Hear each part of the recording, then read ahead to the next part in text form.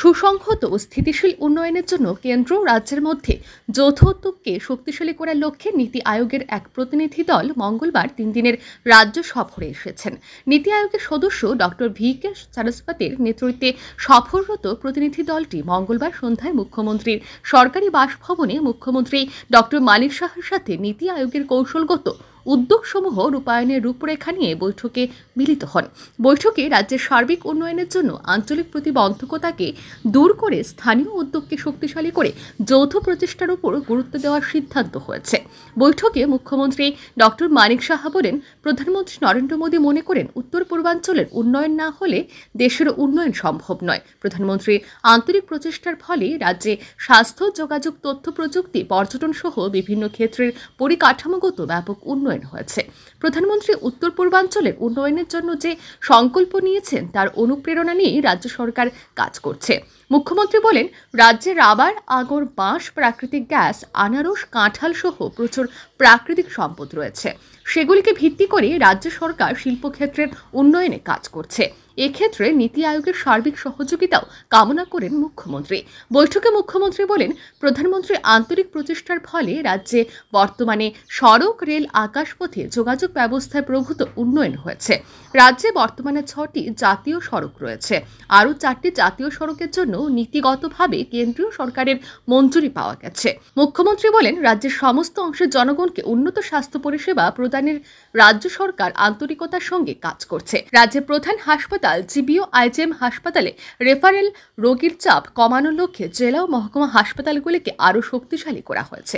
দ্রুত চিকিৎসা পরিষেবা প্রদানের লক্ষ্যে রাজ্যের বিভিন্ন জেলা হাসপাতালগুলিতে ইতিমধ্যে ট্রমা কেয়ার সেন্টার স্থাপন করা হয়েছে। স্বাস্থ্য পরিষেবার ক্ষেত্রে রাজ্যে বর্তমানে দুটি medical college, dental college, nursing college সহ অনেক সরকারি ও বেসরকারি স্বাস্থ্য প্রতিষ্ঠান রয়েছে।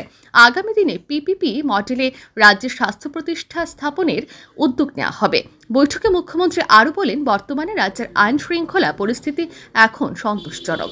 তাই বহিরাজ্যে বিনিয়োগকারীরাও বর্তমানে রাজ্যে বিভিন্ন ক্ষেত্রে বিনিয়োগ করতে আগ্রহ প্রকাশ করছে। রাজ্যের সার্বিক উন্নয়নে নীতি আয়োগের লজিস্টিক সহযোগিতাও চেয়েছেন মুখ্যমন্ত্রী।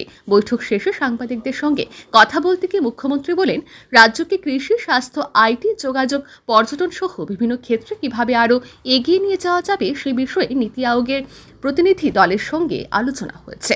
রাজ্যে বিভিন্ন ক্ষেত্রের উন্নয়নের প্যারামিটার দেখে প্রতিনিধি দলটি বৈঠকে সন্তোষ প্রকাশ করেছেন। পাশাপাশি যে সমস্ত ক্ষেত্রের উন্নয়নের বিষয়ে যেসব সমস্যা রয়েছে, তা সমাধানের বিষয়েও নীতি আয়োগের প্রতিনিধি দলটি রাজ্য সরকারকে পরামর্শ দিয়েছে।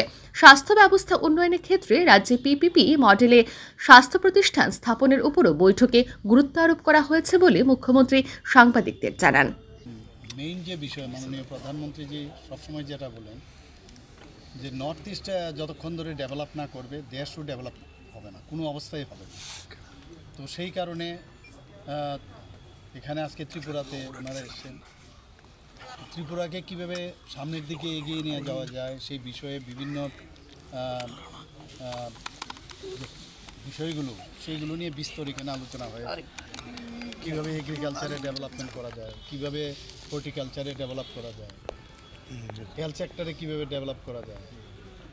মানে বিভিন্ন যেসব সেক্টরস আছে সেইগুলো এবং বাইরের পিপিপি মডেলে যদি এখানে আসে এবং এখান থেকে বাংলাদেশের সাথে আমাদের এক্সপোর্ট কীভাবে ইনক্রিজ করা যায়, আমাদের ইন্ডাস্ট্রি কীভাবে ডেভেলপ করা যায়, এই সমস্ত বিষয়ে আজকে আলোচনা হয়েছে। অ্যাসপিরেশনাল যে ব্লকগুলো, সেখানে আমাদের যে ডেভেলপ যেগুলো হয়ে গেছে, সেই, তাদের এই ডেভেলপমেন্টের বিষয়গুলো ওনাদের গোচরে এসছে এবং খুবই ওনারা খুশি। এবং অনেক ক্ষেত্রে ভারতবর্ষের যে ডেভেলপমেন্টের যে প্যারামিটার, ওনারা খুব খুশি ত্রিপুরাতে। কয়েকটা বিষয়ে ওনারা বলছেন, কিছু কিছু জায়গায় দেখা গেছে যে অন্যান্য যেসব প্যারামিটার অন্যান্য প্রদেশে আছে, তার থেকে কয়েকটা জায়গায় কম। তো এটাকে কীভাবে ডেভেলপ করা যায়? কয়েকটাতে খুবই ভালো, কয়েকটাতে আবার একটু খানিকটা কম। তো যাতে একদম হান্ড্রেড পারসেন্ট হয়, সেই বিষয়ে ওনাদের সাথে কথা হয়েছে।